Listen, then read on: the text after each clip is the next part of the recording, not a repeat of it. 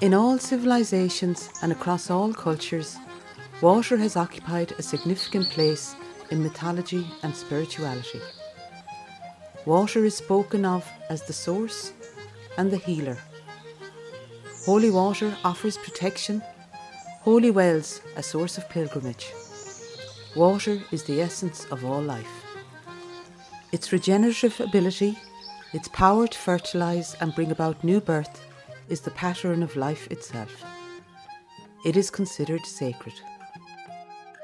Here we investigate our local water body, our sacred river, the River Shiven. The River Shiven has carved its way through the landscape for thousands of years, flowing through villages, bogs, wetlands, woodlands, and meadows.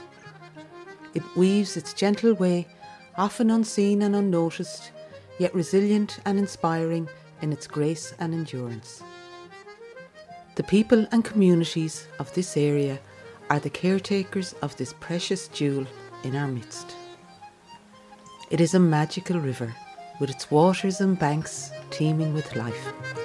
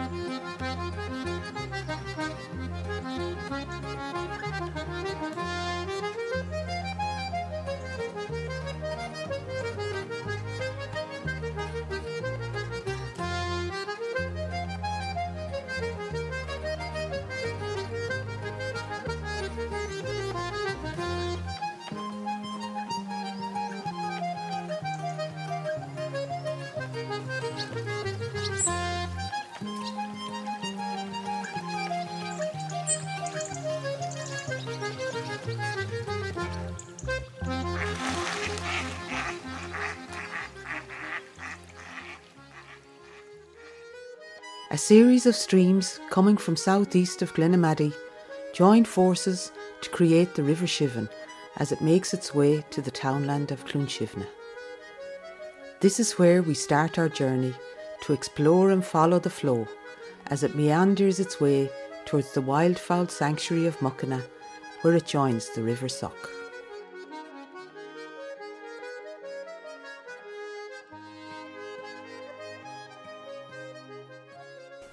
So, hello, uh, my name is Connor Ruan. I'm a Community Water Officer for Galway in South Roscommon and I work with the local authority's water programme.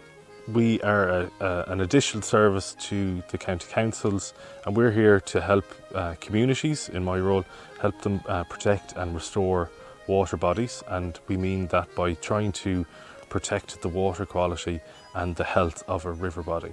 Um, we've also a catchment assessment team which go out and carry out important uh, assessments on the rivers, lakes, and different water bodies to understand what the pressures are on them. And I mean pressures as in the different things that are changing water quality and the nature of the catchment.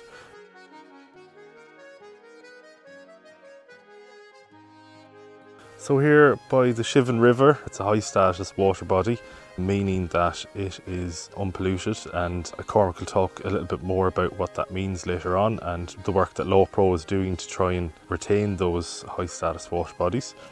So we're looking at the habitats and the species that are in the river and the importance of trees and trees are kind of ecological engineers for habitats. So there's many roles that trees will provide for biodiversity and habitats along a river they provide homes and refuges for fish during high flows for juvenile fish. When trees are in the river, they'll use them as a point to uh, shelter behind the high flows. Uh, for different stages of mayfly, when the mayfly is metabolizing, it'll use the tree leaves to, to rest.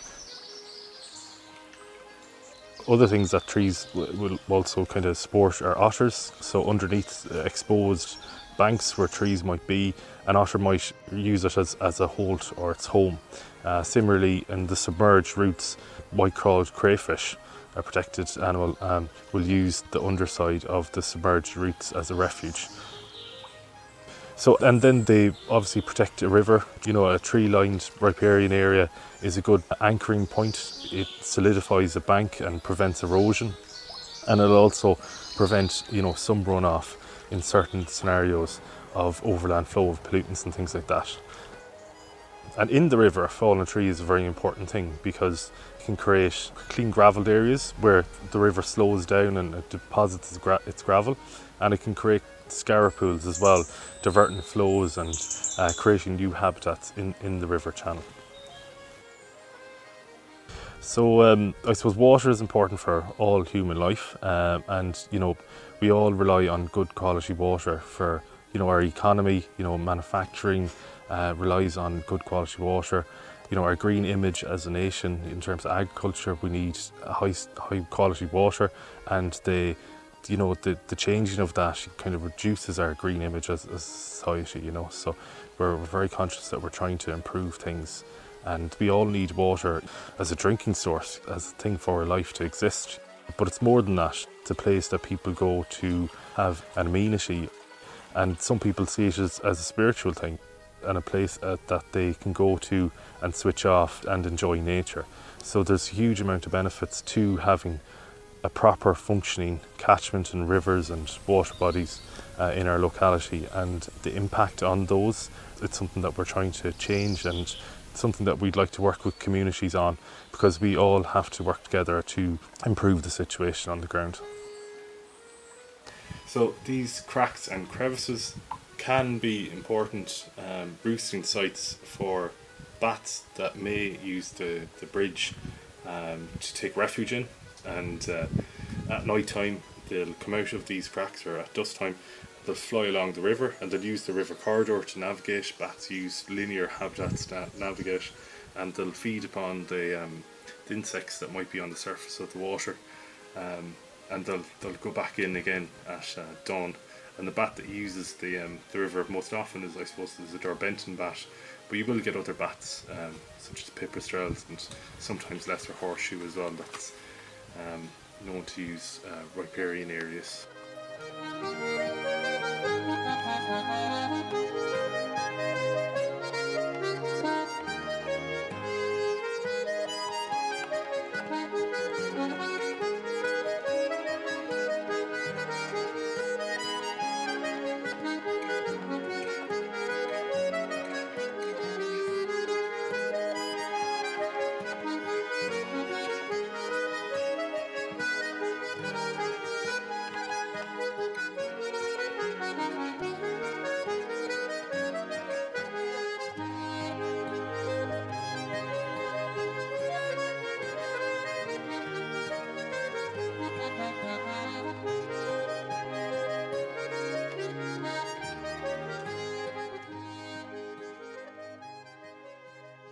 We all have our part to play because we all live in a river catchment and we all have an influence on our rivers. Even the smallest of drains and streams are important. The, the, brooks and all the channels, they all feed into the larger river and it's very important to keep those healthy.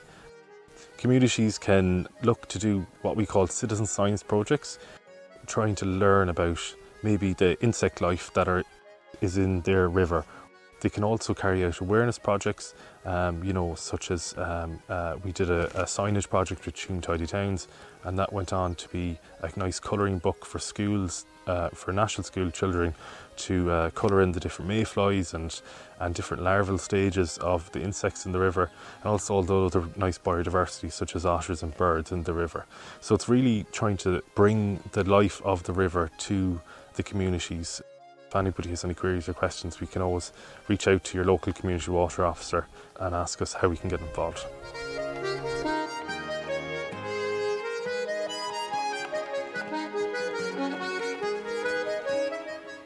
The built heritage of the river holds great significance as it tells the story of our past with bridges, mills, killings, lime kilns, ring forts, and burial grounds.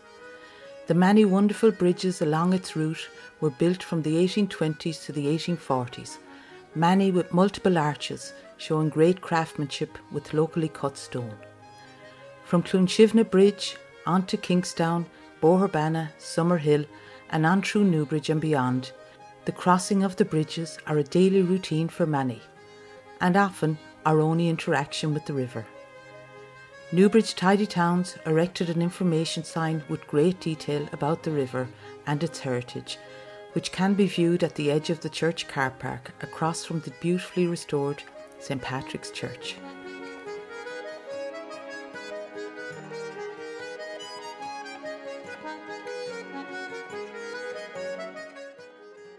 From picturesque Newbridge village, we pass Killian Mountain Bridge and onto the sluice gates of the former Daly's Mill, one of a handful of mills which were powered by the river up to the 1950s.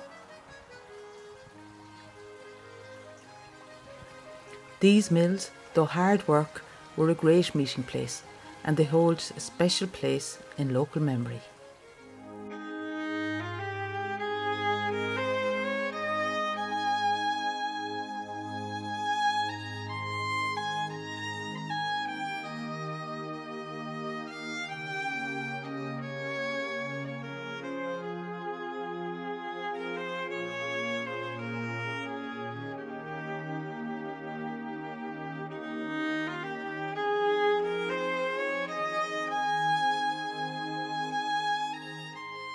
Killian Graveyard dates back over 800 years, containing not only ruins of a medieval church, but also those of an ancient nunnery.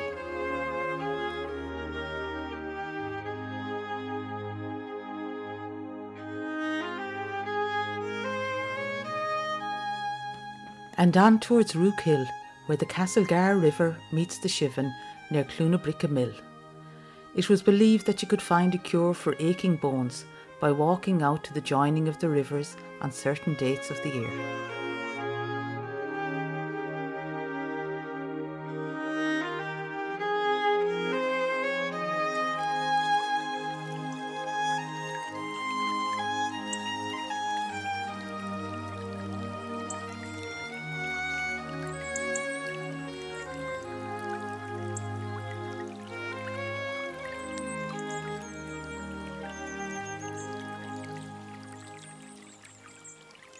Hello, my name is Brian Reedy and I'm the Conservation Ranger for North Galway with the National Parks and Wildlife Service. Part of my job is implementing the Wildlife Act and the European uh, Birds and Habitats regulations uh, on behalf of the Minister and the Department here in North Galway. The Shiven River here, part of it is an SPA, which is a special protected area, and it's also designated as a natural heritage area. The Shiven is part of the North Shannon catchment and the Suck sub-catchment. Part of my job is monitoring important habitats and species that are threatened. So the Shiven River has an amazing array of biodiversity, whether it's birds or insects or various flora. We have the kingfisher and protected species like the otter recorded on this stretch of river. There also are uh, nesting birds such as snipe and lapwing closer to the Suck.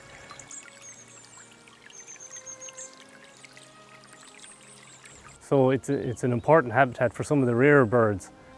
It provides water for us now, but equally has many other services for us. It protects us against pollution, climate change, it improves the soil fertility, it cleans our air. So there's many ecosystem services for rivers in general for us.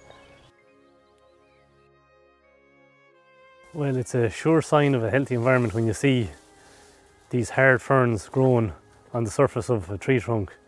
Uh, you've got the mosses, you've got the lichens as well, so the air quality is really good here.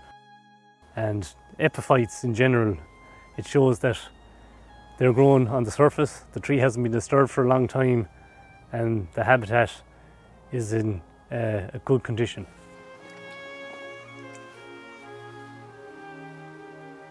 The Shiven started to become what we know of it today between 10,000 and 8,000 years ago at the end of the last ice age.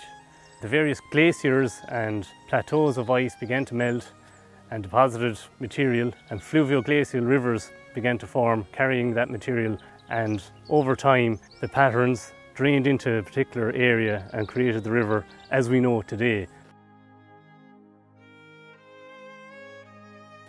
Rivers are connected to our daily lives and our local community and our local habitats are all interconnected.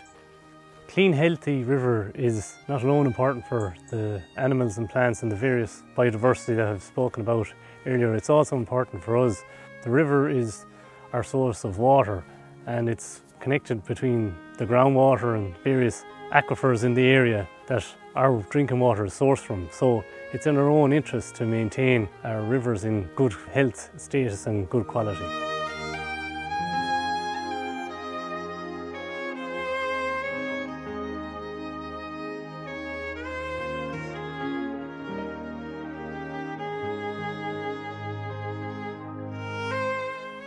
Ballinamore Bridge, with its nine arches, has an unusual screen wall with turrets at each end. The French family were the landlords of the area, and it said the screen was built to allow for privacy for swimming and recreation. Landlords like the Frenches, the Gerards, the Cheevers, and others have left an indelible mark in the landscape and psyche of the area.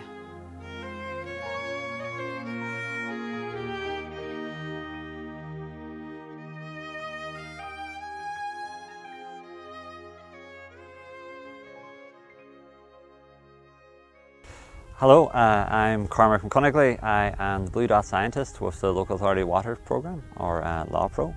So you might wonder what a blue dot is uh, and why they're important. Well, under the Water Framework Directive, uh, which is a European directive around water quality, we have committed to prevent deterioration in our water quality, that it shouldn't get worse. And so rivers that were at high status or achieving high status, uh, which are the cleanest of the rivers, the best of the best, uh, are closest to unimpacted natural conditions. They should not be allowed to degrade even down to good status. So those rivers have what we would call uh, an high status objective. Like the objective for that river is to maintain high status, whereas for another river it might be to achieve good status. And all those rivers are covered by the Blue Dot Catchments Programme, which is a program I work for as a Blue Dot scientist. And you might wonder what does high status mean? Well, for a river like this, High status would mean that it has a good diversity of very sensitive species of macroinvertebrates, as well as having quite low concentrations of pollutants and nutrients in particular. So that means it is in really good quality and that the water is clean enough that very sensitive species are able to survive. High status rivers are generally more diverse than other rivers and that the species that are there are sensitive to pollution. So you can get a lot of species living in a good status river uh, but in a high status river, you would expect to get more of the very sensitive species and in more, uh, in a greater abundance. And your nutrient concentrations would be really, really low. And when we talk about high status and why it's important to a community, well, biodiversity has an intrinsic value. It is valuable, valuable to preserve the diversity that lives on our rivers. And they, but they do provide other benefits to society and the communities that live within the river catchment. And the river catchment is the area of land where the rain that falls on it feeds into a particular river. And so everyone in that catchment is connected to that river. And high status rivers and our blue dots provide benefits to the other rivers downstream of them. Quite often, uh, high status rivers are in the higher parts of the catchments, uh, often in the headwaters. And because they're so clean, they really help keep the water bodies below them clean because they are flowing down into the lower um, sections of the catchment. Most of the blue dots in Galway would be in the western side of the county.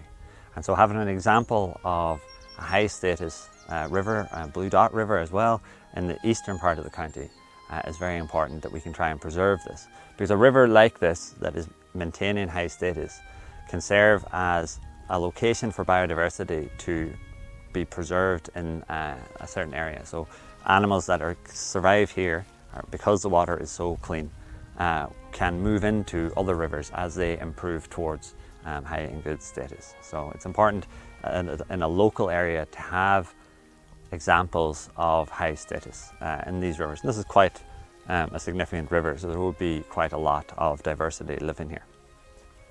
So our catchment scientists will walk the river looking for where impacts can move from the land into the river. And those can come from a variety of sources um, agriculture, forestry operations, septic tanks, urban wastewater treatment.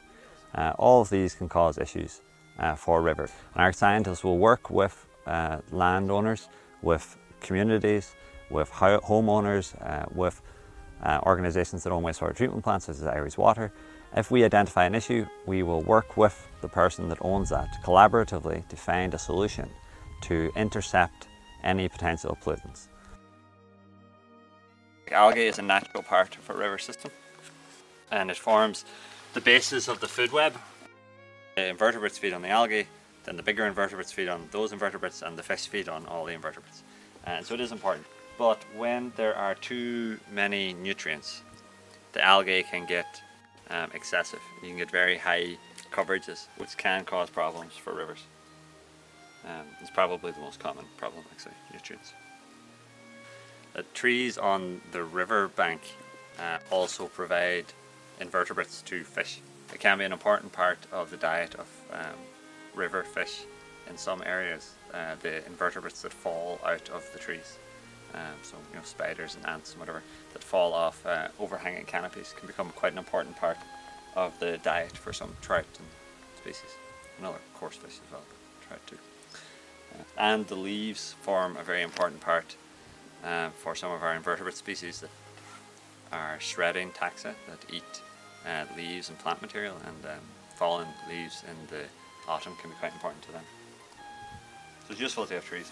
And from a particularly in a, a world where we're concerned about climate change, uh, shading from trees is important to help keep the maximum temperatures that rivers uh, get up to during the day, and particularly in weather like this, uh, to try and keep the water temperature uh, just a little bit lower so that um, the fish are able to function. They don't like uh, when the temperature gets above um, you know, 20 odd degrees. Uh, they don't like that very much. So, ooh, that is Ephemera danica. This is a burrowing mayfly. It looks a bit like a um, you know one of the Chinese dragons. So the long ones, uh, maybe they're Japanese, but really cool. Very sensitive species. Very different to all the other mayflies. Quite big, so you would expect to find this species um, in sort of sediment that they can burrow into, uh, sometimes sandy areas.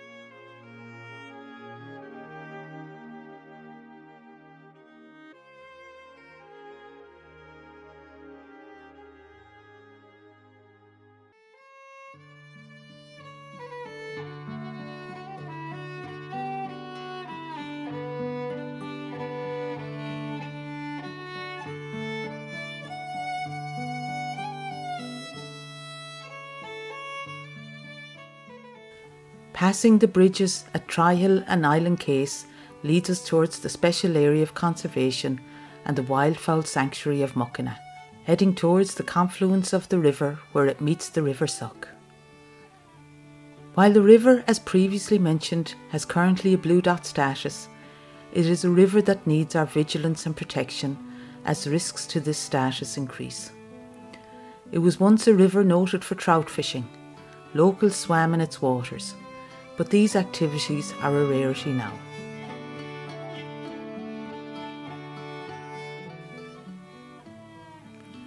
While global warming and climate change can at times seem distant and out of our control, this river in our midst is our responsibility, and all our actions have the power to maintain its high status or lose it.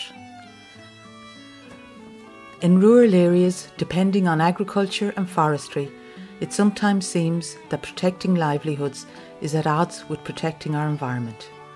But this environment is the only one we have, and we are not separate but a part of the natural world. As we have heard, from drinking water to land fertility, our lives are interdependent on river quality.